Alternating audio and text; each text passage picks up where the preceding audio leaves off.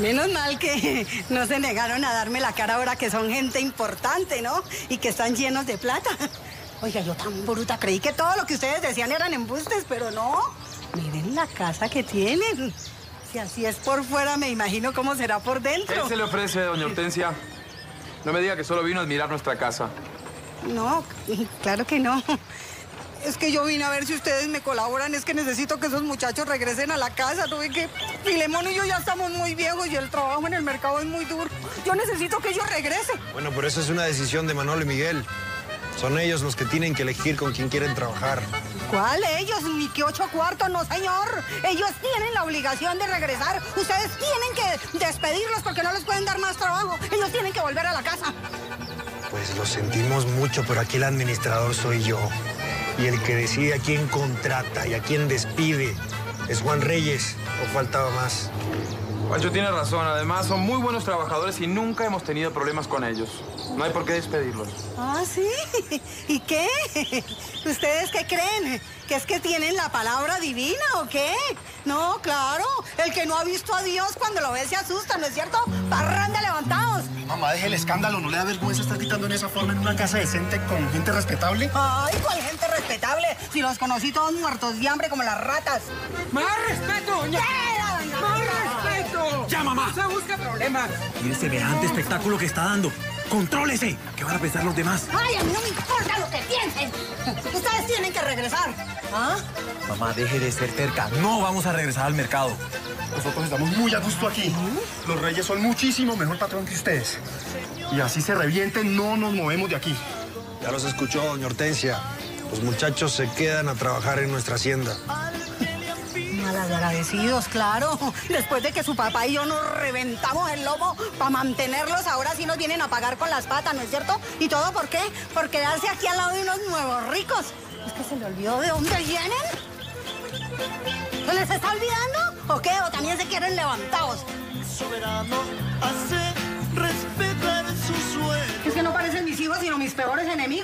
Es que no hay derecho a que nos abandonen, no, señor. No hay derecho. Ya tampoco, mamá, cállese que nos está haciendo quedar como un cuero delante de todos. Deje la cantadeta, parece una vieja loca alborotada. ¿Qué? ¿Cuál vieja loca? Ya se me respeta. A ver si la vieja loca. ¿Qué vieja loca? ¿Qué? ¿Qué se respeta? Usted no me respeta, no me respeta. ¿Qué va a hacer?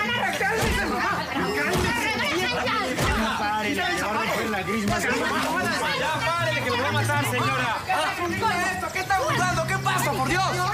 Cálmese, por favor. No, señor, tienen que regresar a la casa.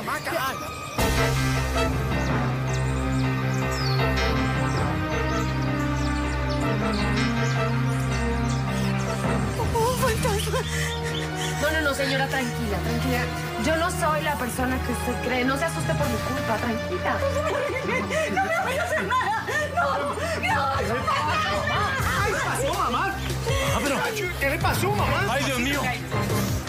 Ahora se nos fue la vieja. Mamá, por favor, un besito con agua. Mamá.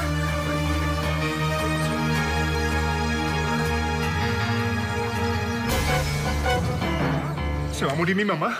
No sé, hombre, no sé. Mi mamá está muy pálida, está muy mal. Yo creo que está en las últimas, Manolo. No le va a pasar nada. Dejen de decir estupideces. Yo creo que lo que necesita es un médico. A ver, ¿para qué? Si hierba mala nunca muere. Parece que está volviendo en sí. ¿Dónde estoy?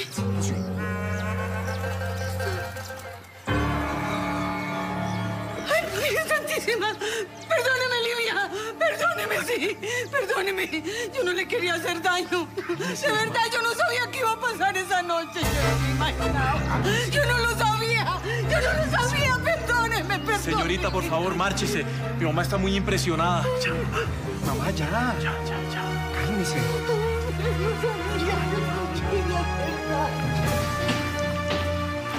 ¿Qué demonios está pasando aquí? ¿De qué habla su mamá? Dígame, ¿a qué noche se refiere? ¿Qué está pasando? Después le cuento, Juan. No se preocupe. Mamá. Mamá. ¿Por qué no me sacan de aquí? Mamá, pero cálmese. Yo no quiero seguir más al lado del fantasma de Lidia. ¿Usted sabe por qué? Yo no quiero seguir aquí, Ya, cálmese, sáquenme. tranquila, Dios tranquila. mío, yo no Ya respire, respire.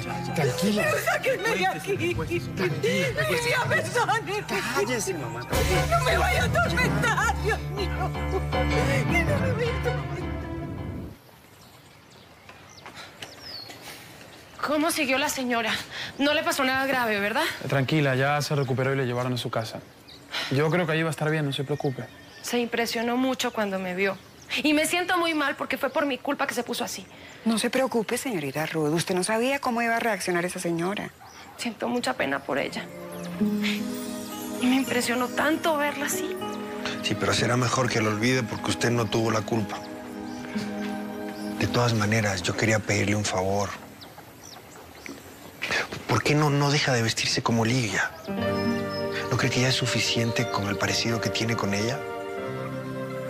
Fíjese, mis hermanos y yo nos sentimos muy impresionados.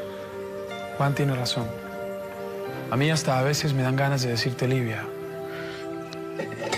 Sea como sea, usted es Ruth. Ruth Uribe. Nosotros. Nosotros queremos seguir viéndola como la persona que es. Gustosa ocuparía el lugar de Livia. Nunca volveré a ser la misma de antes. Mucho menos después de que me enteré de toda la verdad.